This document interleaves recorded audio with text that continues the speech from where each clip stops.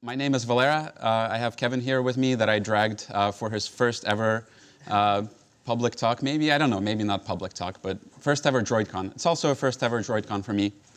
Uh, and today we're going to talk about my favorite topic, uh, which is UI testing. So, really excited. I had to go back. Uh, by the way, we have engineering slides. We don't have pretty animations and stuff like that. I had to go back and count how many times I've talked about UI testing in public, uh, and I think this is my sixth presentation on UI testing. Uh, I've given also a lot more internal talks at, at Google and Slack. Uh, why do I keep coming back to this topic? Uh, well, I think UI testing is kind of an evolving story. Um, and uh, every time there's something new and exciting that happens, um, I am, I just look forward to sharing it. And uh, hopefully, you know, also it will be useful to you. Um, the other reason is, is this. Uh, I really like surveys. Uh, people who work with me know that I send out like way too many surveys at work. Um, and I like to ask people's opinion about you know, stuff. Uh, and last year, actually in August 2016, I conducted a survey, uh, sent it out on like Twitter and uh, Android Study Group of people um, whether they do UI testing while they do UI development in conjunction with, with their UI screens. Um, and as you can see, while many, many, many people do uh, unit testing, not everybody, uh, actually only about 70% uh, of people added a UI test. And I think this number, you know, there's a self-selection bias, so I think this number would actually be lower in reality if we polled every single Android developer out there. Um, so, and I thought, okay, well, how about this year? You know, how are, how are things looking this year? Well, unit testing improved. Uh, everybody does unit testing these days, apparently. By the way, uh, raise your hand if you know if uh, if you've developed Android UI in like the last three months or so. Cool. Uh, and what about uh, unit testing? How, did you add unit tests for, for your functionality? Keep your hands up. So like about 70% of the room.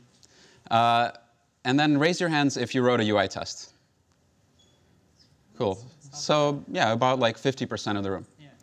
Uh, so anyway, you can see here that not everybody does, uh, does UI testing. And as long as that's the case, as long as it's still hard and it's still kind of a problem that, that people consider to be kind of insurmountable, um, I'm going to keep coming back and presenting on it. So I might be doing this for a while. We'll see. Then I kind of asked why people don't do UI testing. Um, this year, uh, the number one reason is no time. Um, I don't know. There, I, I, like this quote about meditation that, uh, you know, if, uh, if you don't have time for, so, you know, you should meditate for about like five minutes a day, but if you don't have time for meditation, you should meditate for 20 minutes a day. Uh, I think it's kind of similar, you know, in the testing world. Like if you're, if you're using time as an excuse to not write tests, you're essentially like kind of deferring the problem uh, to, to later time. But I think no time is essentially equivalent to it's too hard, it just takes too long. Um, and uh, also just maybe not trusting in the results of what you're producing. So that's why I keep coming back to this topic and, uh, and you know, trying to just kind of push uh, our community forward in, in this particular space. Um, and I decided, okay, bad timing. Uh, this was actually, uh, you know, the keynote that we listened to today uh, was, was absolutely wonderful setup for, for our talk uh, because I also decided that I've been doing this for a while, um, that I'm going to go back in time and just kind of uh, do a review from, of my testing story, of my UI testing story. Um, and it's also the same disclaimer as Chet and Romain um, had. There are a lot more people that talk about UI testing, so Chiu-Ki, Sam, um, Michael Bailey. So, you know, this is, this is kind of like my perspective on UI testing. It's not by any means a complete picture. Uh, but I have been at it for a while, so uh, I'll take you back to 2011 uh, when I joined Google to work on this exciting project called Google Wallet. Anybody remember Google Wallet? Anybody use Google Wallet? Anybody successfully use Google Wallet? uh, anyway, actually, I use Android Pay, you know, so it's a, obviously a predecessor to Android Pay. Uh, and I use Android Pay uh, quite a lot these days. It's, it's pretty cool. Uh, the two stores that I shop at both take Android Pay. It's awesome. But 2011 was, uh, was a different time and place than where we are today. Um, Chet and Romain kind of uh, already went over that, you know, those slides. Does anybody remember? This was the state-of-the-art, you know, version of Android. Anybody want to guess which one that is? I think they kind of gave it away. Anybody? Which which version of Android is this? Yes. And you know, they talked about the Nexus S phone, so so that's when I got into Android development. Um, and actually, that was you know that was a good time, I think. This is what we developed on. Anybody miss Eclipse? yeah? All right. Kevin also. I told you, I'm not the only one. Yeah, yeah. Does anybody miss the ARM emulator that doesn't boot up? No? All right, all right. So much, right? So. Yeah, so um, yeah, that, you know, that was a challenge. And UI testing uh, in 2011 looked kind of like this. So I know some of you have seen this photo already, but I'm going to keep showing it as long as people keep laughing. So maybe not everyone has seen it. Uh, but this is actually something that I built uh, for the purpose of running UI tests because running the tests on the emulator at that point in time was completely not workable. Um, whoops. And it was actually working pretty well. Um, this was phones uh, on a whiteboard so that I could see the screens. I love watching UI tests run. It's like, it's just uh, one of those things that's, um, you know, it's kind of therapeutic to me when they succeed. Um, and everything was working fine. Uh, the CI system was working great uh, until um, all of a sudden everything went red. And I go into the room where these phones were, um, were located, and I see all of them splattered on the floor. Uh, and it turns out the Velcro melted because the phones heated up so much. So I had to rework some of this harness. Uh, that was on the CI side of things. I'm just telling this because it's a funny story. It has nothing to like do with writing UI tests. But this did have to do with writing UI tests. This was the state-of-the-art uh, UI testing framework at the time. Does anybody remember Robotium? How many of you still use Robotium today? Cool. You, you do? Okay. Um, and um, Robotium was, was good for, for its time. Uh, it solved one particular problem, which was it was difficult to write UI tests uh, just using straight up instrumentation. Uh, notice, by the way, Chet and Romain did not talk about testing APIs today. So that just kind of gives you, uh, you know, an idea of how much I think the Android team has, they've come a long way as far as testing support is concerned. Uh, but Robotium had one kind of small problem, and that is that if you wrote a bunch of Robotium tests uh, and you were to run them in CI, uh, you were more most likely to get this picture. Um, and the problem is that Robotium just completely didn't take care of multi-threading and synchronizing your UI tests with the UI test thread where all of your UI gets processed. Actually, not all of your UI, but a lot of it. So uh, we were working on you know, Robotium and uh, trying to kind of make the best of it uh, on Google Wallet. Uh, and finally, we kind of said, well, it's just it's not working out for us, so let's start from scratch. Uh, fast forward to 2013, uh, we introduced in April of 2013 at a conference, the Google Test Automation Conference in New York, um, my team introduced Espresso. We didn't have that pretty logo at that time, by the way. It was just, you know, I just used an image of an espresso cup. And by the name Espresso. Espresso, ah, the name. So this so, when Valera was at Google working on the testing framework? So naming is really hard, obviously. Everybody knows that meme, that naming is one of the hardest problems. I actually agree with that. Uh, we had like we had a, you know, um, a whiskey-fueled kind of brainstorming session, um, and we did not come up with a name. The code name for espresso was Honey Badger, actually. Um, I, yeah, I keep reusing that code name just because Honey Badger is so cool. Uh, but it wasn't very marketable. So yeah, we were just standing like the next day after the whiskey-fueled session. We were just standing uh, at the espresso bar uh, in the Google San Francisco office, and it just sort of you know, came to us that, hey, espresso, it's fast, uh, it's coffee, it's, you know, Java related. Uh, and by the way, we didn't ask marketing um, whether it's okay to use this name. They, later, when I had to like open source espresso, I had to ask marketing for permission, and they said, well, we wouldn't have allowed you to use this name because it's like too close to Java and we would get sued. But since you're already using it and everybody knows it as espresso, okay, you can keep it. so moral of the story, uh, ask for forgiveness, not for permission. Well, okay, anyway. not always. That doesn't work for everything, but uh, for, for naming, sometimes it works. Um, and Espresso uh, introduced this new API. Um, you know, they talked about the fact that APIs are like your future regret. I actually kind of like this API still to this date. Of course, I'm biased. Um, it, it def definitely has its issues, and you know, there's there's stuff that could be improved. Uh, but the the one thing that Espresso did do is it helped you synchronize your sort of it took away the multi-threading worries somewhat out of the picture. You, know, you still sometimes have to worry about multi-threading and idling resources and whatnot. Um, and you know, at that point, we're like, well, we're done here, right? We, we have this awesome new framework we can run, you know, write UI tests in, and everything is just going to be great, and we can just start working on other things finally. Uh, but no, Espresso was kind of incomplete. Um, we um, originally, when we released Espresso, we we just had to plop it down on code.google.com. It was actually not part of the Android open source project, not part of uh, any support libraries. Um, and so there was still a lot of work to do. Um, so in 2014, uh, this guy named Jake actually released Double Espresso to solve some of the distribution uh, problems. So you could actually just you know, do a one-liner in your build.gradle file uh, to pull it in. And that was fun. Uh, and at the end of 2014, we kind of deprecated the Double Espresso project by releasing Espresso as part of the Android open source project and part of the support library. Uh, that, was, that was also a fun kind of time. That was right before Christmas, December 19th. And I just remember, you know, getting everything ready for the release and, you know, just uh, sending a message to Xav, who was still at that time releasing all of the binaries for the support library. And Xav was like, no, I'm, I'm going on vacation tomorrow, so I'm not gonna, you know, I'm not gonna release this. Uh, and then I, you know, I just sat there, you know, really bummed, and I just waited for five minutes. And then he's like, "Do you, do you have testing?" I'm like, "Yeah, here's all the testing." Is that, you know, has everything like, do you, you know, did you get all the permissions and everything in place? I'm like, yeah, yeah. He's like, where is it located? And, and he just did it. So that was awesome. That was a great Christmas gift uh, to me and hopefully the community.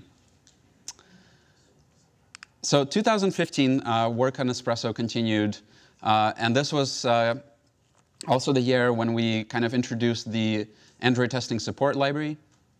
Uh, and we also released Espresso Intents um, and uh, our JUnit 4 rules, you know, like a breakthrough in testing technology. Before that, does anybody remember the activity instrumentation test case 2.java? Yeah. well, so thankfully that's deprecated now. We also had our first ever uh, presentation um, on UI testing and, at Google I/O Uh, unfortunately, we didn't possess the technology to record talks at that time, so you can't go back and see it. they also gave us the smallest possible um, room that, you know, it was like a box talk. So um, you could kind of see the pattern here, actually. You know, people are standing in the back here, and it was the same at Google I/O, except there was like a lot less room and a lot more people on the, on the outside of the box talk. But it was still awesome. You know, I think this is around the time when Android finally started to come around to the idea that testing is important, and developers actually care about testing somewhat. Um, at that time, also, we introduced this awesome logo for the Android testing support library. I think it was kind of a missed opportunity. So I modified it a little bit. Um, but some of you, you know, if you're like less optimistic than I am, may say that this should be the logo. I, I think it's, it's okay as the, you know, this one. All right, 2016. Uh, this was a fun year. Uh, I actually, at that time, I, I, had to leave Google to go um, and live in France for a little bit. Um, and I was planning to come back, but then I you know, something happened and I just decided I'm going to go check out uh, how life outside of Google is. So I joined a company called Slack, uh, and that's where I work today with Kevin and Kine and some of these other wonderful folks. Um, and um, my first project at Slack was to introduce UI testing. So imagine that there was there were no UI tests as part of the, the sort of the Slack Android project. Um, and this was a really fun project for me and also kind of scary because I had been developing Espresso. I had been giving talks about how you should use Espresso for UI testing. And I've helped some teams, you know, onboard Espresso at Google, but I had never really like written Espresso test for a real project myself. It was, uh, I know. And so I was, you know, I sat down and I, I just, I thought, okay, I hope this works. And I wrote. Makes you wonder why we hired him, right? Yeah, I know. Credibility issue right um, I know I shouldn't be saying this. um, and uh, so I wrote uh, a test for our settings activity, uh, and I tried to kind of use all the best practices that I, you know, that I had seen at Google and, and other places. Um, I used actually Chiu-Ki's blog post to like, you know, figure out some of the Dagger stuff. Um, so that was really helpful. And, um, and, you know, I wrote this test, I documented it, and I sent it out to the team. And, then, you know, an amazing turn of events, the team actually went and took this test and wrote a bunch of other UI tests based on it. So that was, that was cool. It actually worked. Um, oh, actually, Sorry. Okay. I'm like rambling, but uh, I'm like shocked by my own slides. 2016, uh, Google I/O. This was also a breakthrough year because Espresso was actually mentioned in the Google I/O keynote. Uh, does anybody remember that? Uh, it was like the Espresso test recorder. Does anybody use the Espresso test recorder? So like four or five people. Okay. Yeah, I, I, mean, I think it's cool in theory, recording tests, but I, yeah, I think that that's not quite what developers are looking for. Um, I think there's a lot bigger challenges to solve before we get to the recording part. Uh, but it's there. It's like still part of Android Studio, and it's it's really cool. Um, and I, you know, based on my experience at Slack, uh, I decided, okay, I can present this now. I, can, I know this stuff actually works, and I, I can present this approach. So I went to Prague, uh, and I presented on, uh, on Android kind of UI testing. Uh, this was just my favorite slide from the talk. It had no nothing to do with this topic. Uh, but actually, it, it, does demonstrate the fact that a lot of times we, we have an inverted UI test or testing pyramid where we write a lot of UI tests and not a lot of unit tests. Um, the other way around, right? We write a lot of unit, a lot of unit tests, yes. Yeah. Not a lot of UI tests. No, no, no, no. Uh, no, it's actually, no. I, I meant to say that we write a lot of UI tests okay. Because it's kind of like the least path of resistance. If you don't structure your app correctly, you end up like having to test everything through the UI, which is not something you should be doing. But anyway, uh, so this, if you want to look up the talk, I, uh, so it's called something like Practical Guide to UI Test Development. Um, and the approach that I kind of called it was targeted and hermetic. Uh, and the idea here is very simple, that even though we're doing UI testing, we still can follow all the best practices of testing. And we can just have a test that's focused on just one screen, um, and we can set up all of our state, and we own, you know, the entire kind of set of like objects that we set up for testing, and nothing surprises us during the test. So we don't have to write any conditional logic. So uh, this targeted hermetic approach, uh, something I presented on, uh, and it's been working out pretty well for us. It's like um, 2017, just a quick mention. Again, Espresso was actually um, well, testing was uh, was at Google I/O. They they actually had a big room, I believe, or a big like auditorium. I don't know at like that venue where they have Google I/O, uh, what, what that's called. Uh, but kind of Espresso just keeps evolving um, and getting better and better. So things are happening there. Uh, but I'm going to take it back to Slack because um, that's where I work. Um, so the reason why we're here to talk to you today is because actually when I conducted the same poll that I mentioned in the beginning of this talk uh, on whether our developers write UI tests or not, it seems like everybody at least everybody who is willing to admit um, does write UI tests at Slack. So like every new screen that goes into the app uh, does have a UI test associated with it. Um, and because of that, we've been able uh, to get quite a lot of UI tests up and running on every, you know, this is like a pre prior to every merge to master. We have like 555 uh, functional UI tests. We should stop writing tests because that's a kind of a cool number. Um, and on the right side, you'll see um, this is our CEO dressed as a poop emoji. Uh, so, and he's giving thumbs up to the fact that we're, we're good at test, testing at Slack. Um, does anybody else's CEO wear poop emoji costume? No? All right. Um, no, Stewart is really cool. Uh, we, as you can see, we actually have quite a balanced testing pyramid. So we have some end-to-end tests, and we have a lot of unit tests. Uh, we rely heavily on unit test coverage um, for testing.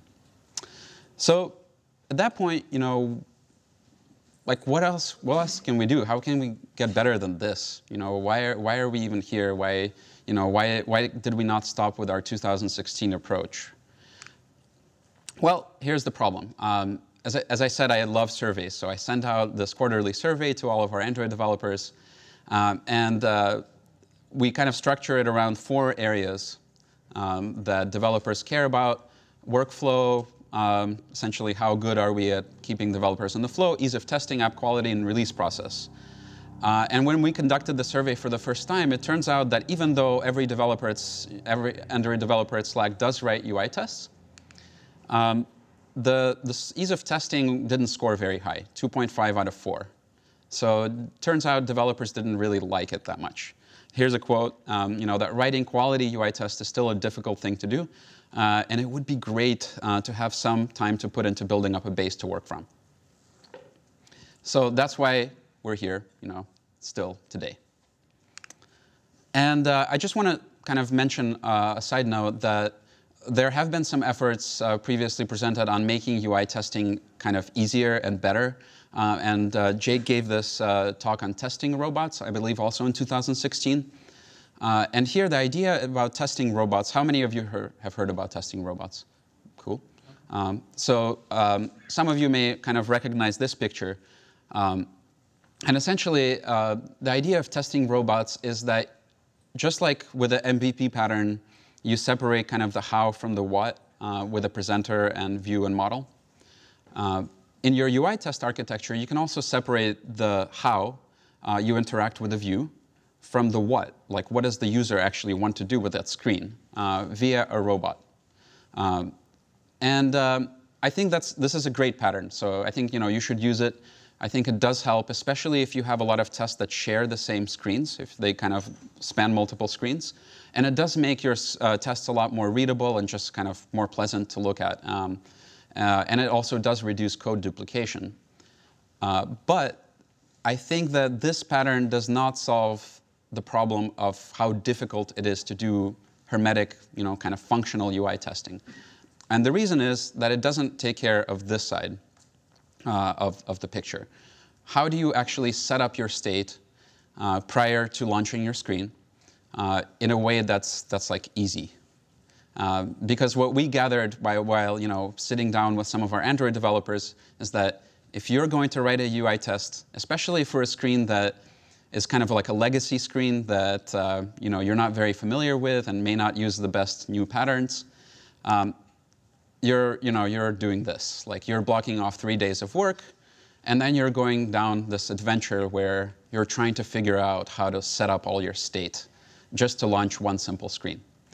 Uh, and so as part of um, our uh, test hackathon that we conduct every quarter, uh, call it Test Week, something that I highly recommend doing for any company out there. Uh, we decided that we're going to tackle this problem and we're going to, you know, to solve it. Um, and it just so happens, by pure chance, the person who actually did most of the work for that is here today. Um, and Kevin is going to tell you uh, how we solved this problem.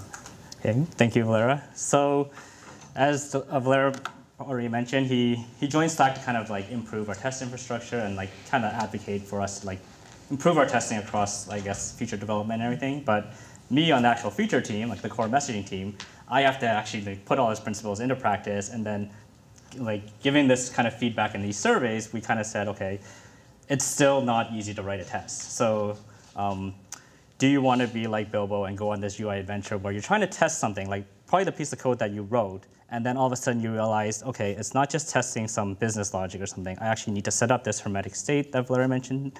And even before I can like fire up, say, my test activity, it's like I need some sort of minimal state, hopefully with the test data that um, like that I'm actually going to test. And just that setup process takes a while, and it's like not that, you know, it's kind of painful for us. So the problem that we kind of want to highlight is that this is what uh, was shown earlier where you have your robot and we actually use robots in our end-to-end tests and they're great in abstracting that complexity.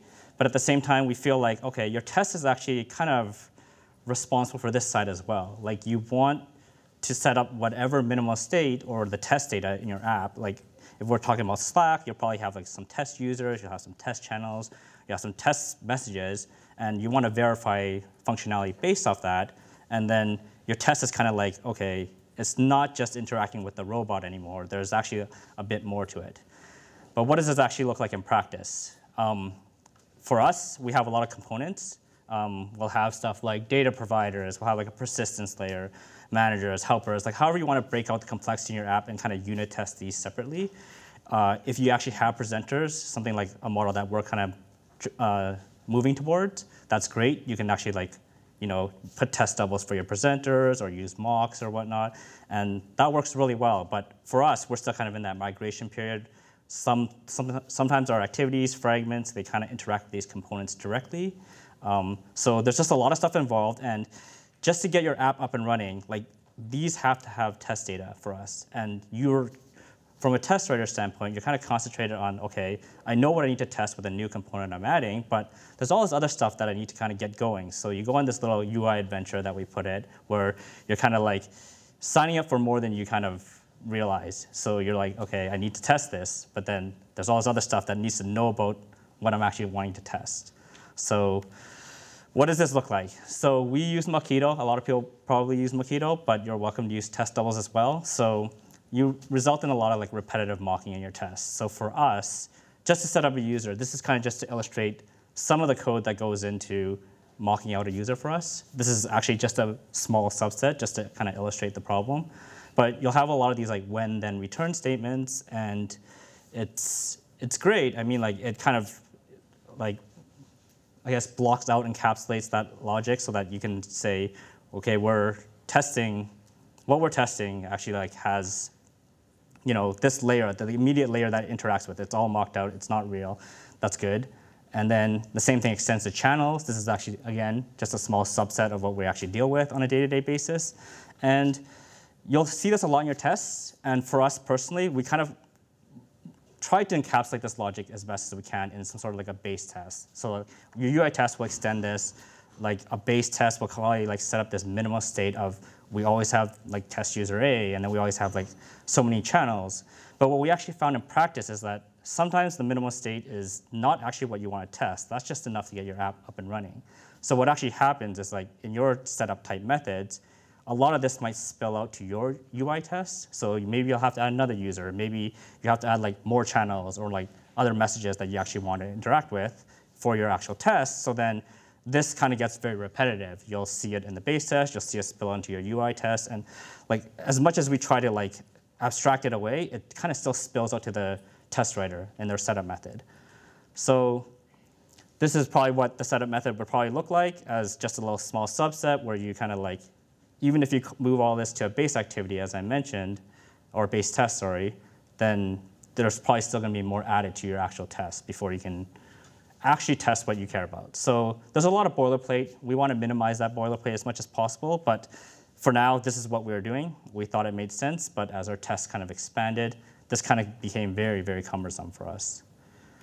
So the solution. So we kind of looked at this we're like, hmm, let's think about this. The robot pattern seemed to solve things for one side of it, which was great. I mean, like you would kind of wrap these espresso statements in a way that made sense from the test writer's standpoint, like where I can enter something on a screen. I can tap the send button. It's like, it's, uh, I guess from the test writer standpoint, even if they don't understand like what's actually happening under the hood, they know what they want to do from a UI test standpoint, where I get to do something. I, I know I want, I want to verify this, the outcome, but what actually happens under the hood? I don't want to think like there's a there's a view with a certain ID, and then I have to like tap it and check that it's displayed. Like it kind of moves all that problem away from us so that we can just focus on writing the test. So as I kind of highlighted earlier, it kind of looks more like this, but what if we could flip this diagram around and kind of structure it in something that we want to solve with this power pack pattern? So why power pack? Like, why are we calling our solution the power pack uh, pattern?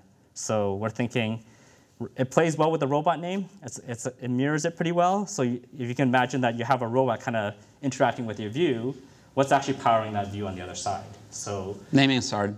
Naming is hard.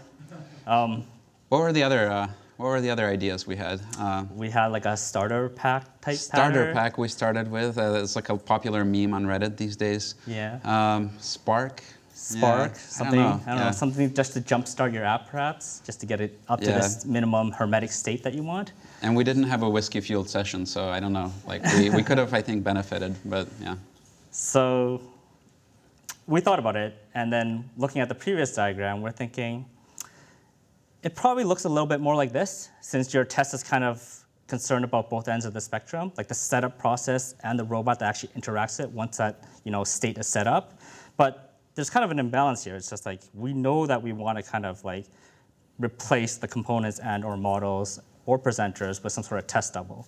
So what we did was we thought, hmm, there's probably something missing here, and that's kind of where our power pack pattern comes in, where we're like, hey, why don't we replace the other side of the view with something just like the robot and abstract away a lot of the complexity to the test writer. Um, what ends up happening, is it looks like this, and you kind of have hopefully a very hermetic test where the test is concerned about both, engine, both ends of the spectrum, but what you're actually testing is the view itself, hence a UI test.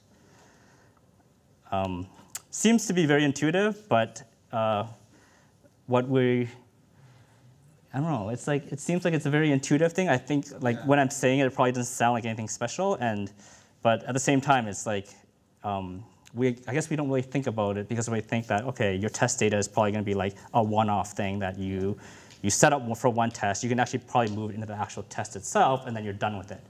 But as uh, every problem in computer science can be solved with another layer of abstraction. So we just decided, okay, we're gonna yeah, we're just gonna, we're gonna add this, this layer away. of abstraction.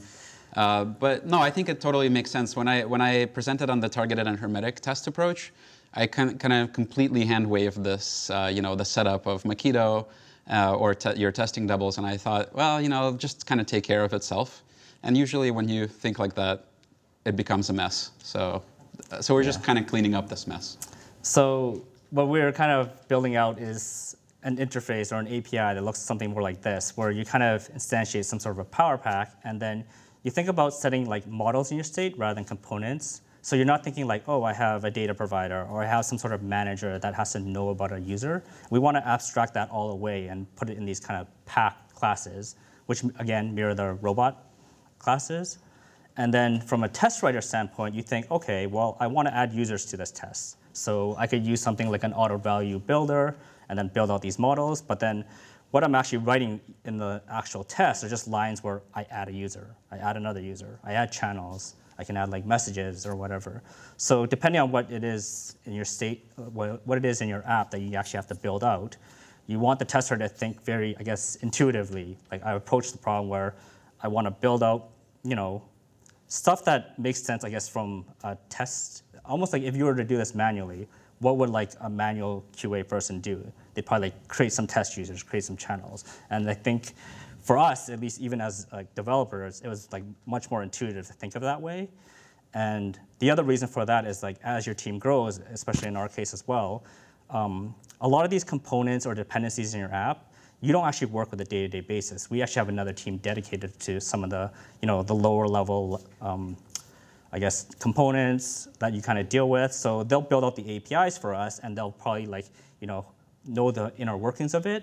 But it's not really your concern to like, you know, dive into their class, open it up, and realize, okay, these are the methods I have to mock out. It's expecting to return this. So we want to move that away and then have it so that as a test writer, you just think about the models.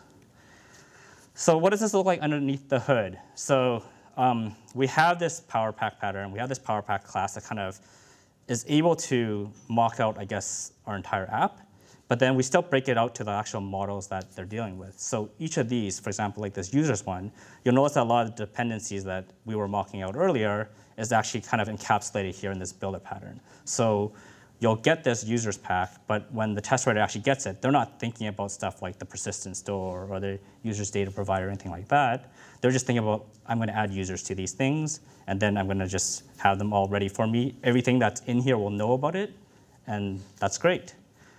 Um, what this kind of looks like is your pack method basically just abstracts this complexity away, and it's written in one place.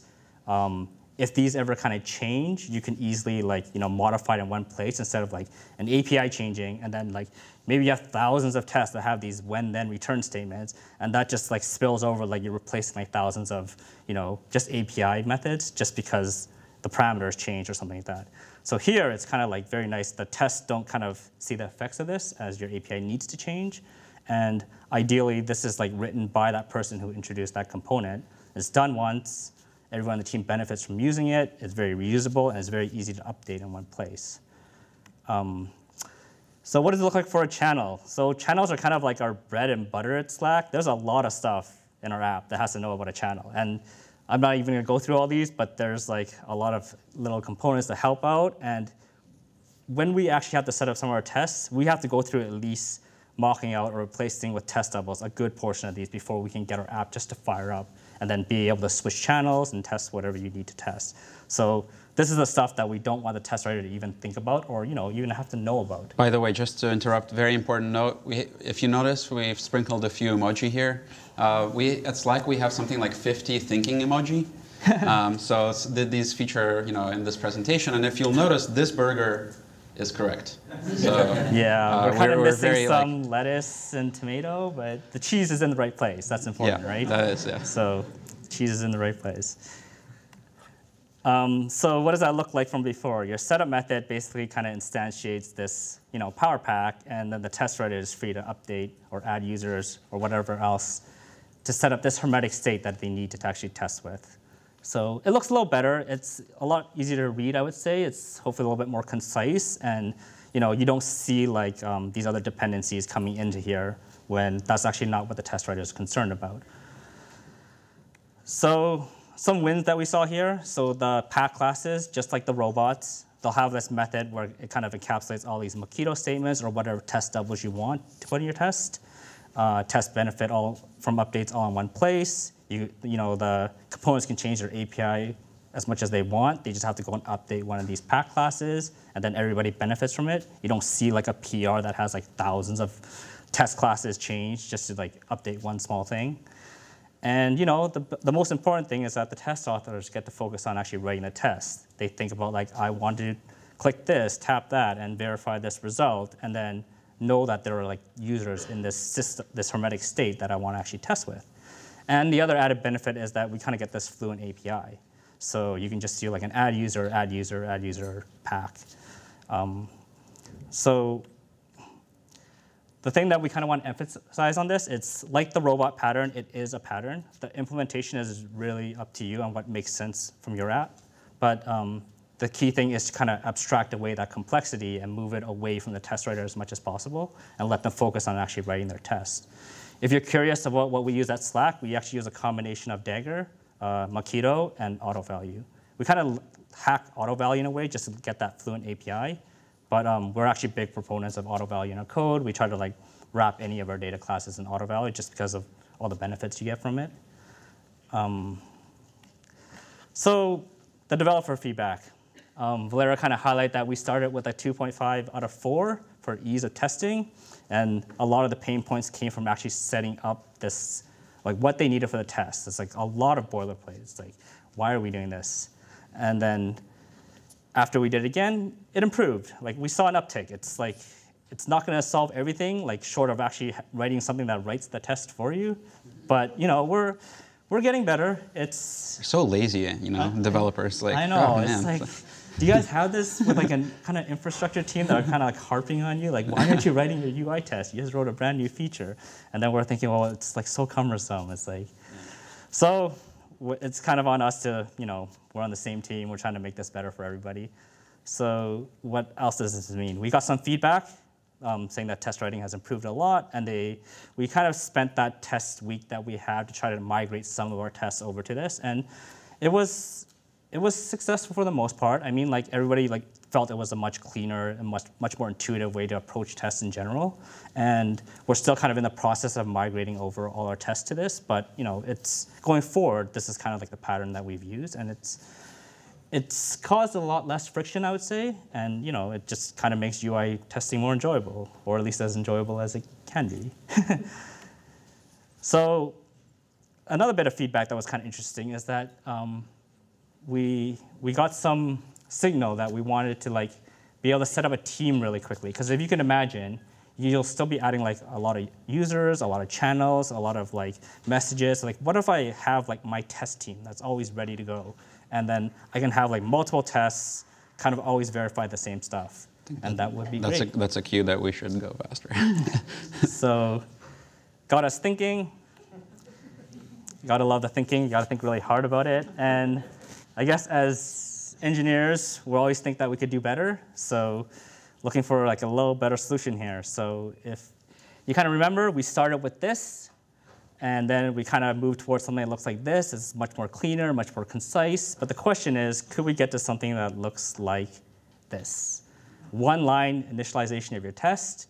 Um, here you'll see that it actually references a JSON file, but basically set it and then you know fire your activity, you're good to go. Um, to us, if you remember Bilbo, this would be kind of like our Arkenstone. Like, can we get to this stage? Um, but if, yeah, engineers, what do you expect? so can we get here? Um, we kind of played with this idea to set up some sort of JSON config that we define. And then what we saw was you'd build out something like a config file here where it kind of parses your JSON file. And then this kind of takes us to where we're hoping to get to because we're still trying to do more. Like we feel like it's good, but could we do better and make our lives even easier testing? So I'll kind of pass it back to Valera here to kind of let you know where we're hoping to go with this story. All right. So um, I'm sure we're all looking forward to 2018. Um, I promise not to make any political jokes, but this is my one political joke. But anyway, uh, so 2018, like I think we're actually really excited to maybe come back to DroidCon uh, and present on something that we've been thinking about, but we haven't built yet. Uh, so please don't build it and present it before us. Uh, uh, but anyway, so this JSON config um, got me thinking. Like, if, if you if you're a little bit familiar with the Slack API, uh, it's a simple REST API that just returns a bunch of JSON objects. And hmm, what does that look like? Well, that looks a lot like our API responses. So uh, this got me thinking that um, you know, we can kind of go a step further and we can automatically charge our Power Pack. Um, sorry for, for all the, you know, the puns, but um, and the way we can do that is uh, we have this test suite of end-to-end -end tests that we're actually converting from Calabash to Espresso right now. Uh, and they talk to a real backend. And by the way, I never believed in end-to-end testing, but, but it actually does bring value to us. We don't run it pre-merge, but uh, it's like it's a nightly test suite, and we get some benefit out of it. So what if we uh, took our end-to-end test that talked to the real backend, and we recorded the, the network traffic and just saved it off to some kind of data store? Uh, and from there, uh, you could do actually two things. So number one, uh, you can actually replay that data to a test. And I know that some teams actually take this approach for their entire UI test suite. Um, and we use this approach, kind of record and replay API traffic for performance testing, uh, because we want to kind of maintain the app um, in its entirety, except the network layer, um, uh, and not mock out, uh, do like minimal mocking or faking. However, you can also use this API data uh, to generate our Power Pack automatically. It's kind of like a no-brainer from there. From there, um, and then we can actually continuously like have the freshest, you know, most awesome uh, Power Pack that you can imagine um, to actually fuel our hermetic functional testing. Um, and uh, just an idea. So if we ever get around to it, we'll we'll be back here uh, next year to to present it again. Uh, so once again, thanks for uh, for stopping by on Sunday morning and. Yeah.